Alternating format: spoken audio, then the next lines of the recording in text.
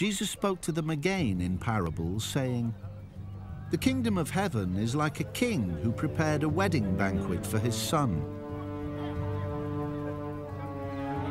He sent his servants to those who had been invited to the banquet to tell them to come, but they refused to come. Then he sent some more servants and said, Tell those who have been invited that I have prepared my dinner. My oxen and fattened cattle have been butchered and everything is ready. Come to the wedding banquet. But they paid no attention and went off, one to his field, another to his business.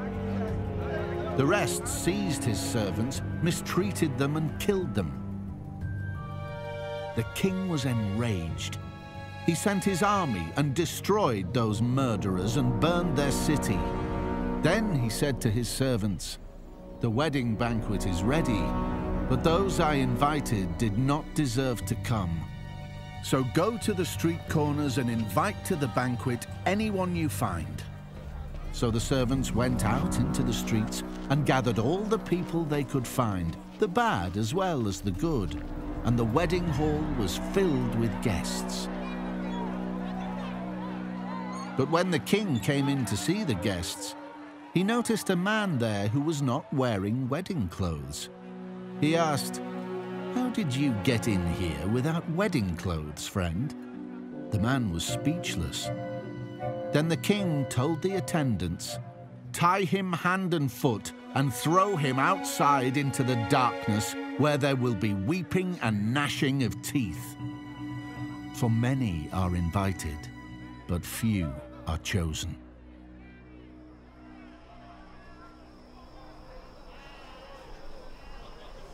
Then the Pharisees went out and laid plans to trap him in his words. They sent their disciples to him along with the Herodians. Teacher, they said, we know that you are a man of integrity and that you teach the way of God in accordance with the truth.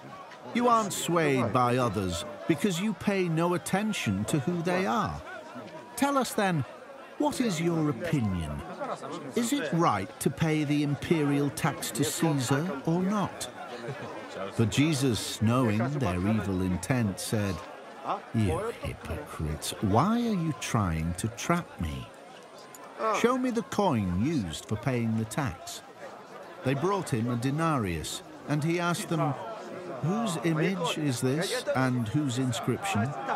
Caesar's, they replied. Then he said to them, So give back to Caesar what is Caesar's, and to God what is God's. When they heard this, they were amazed. So they left him and went away. That same day, the Sadducees, who say there is no resurrection, came to him with a question. Teacher, they said, Moses told us that if a man dies without having children, his brother must marry the widow and raise up offspring for him.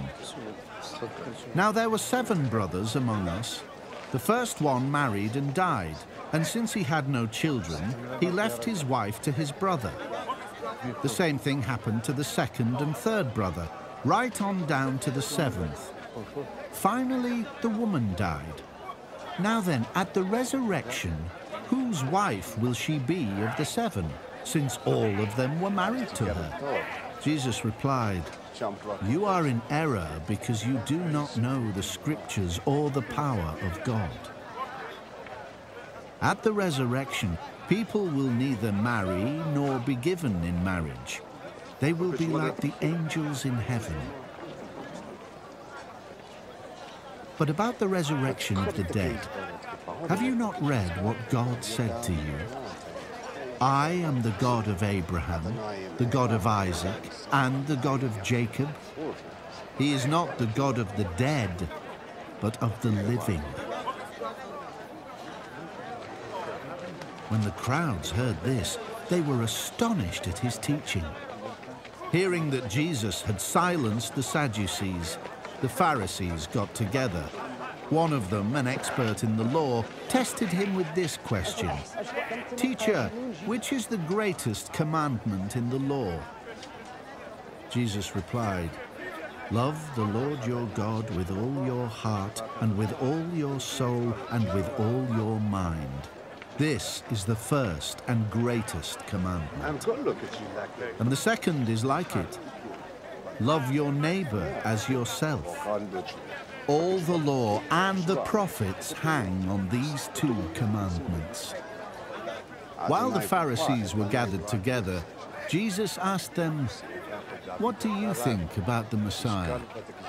Whose son is he? The son of David, they replied.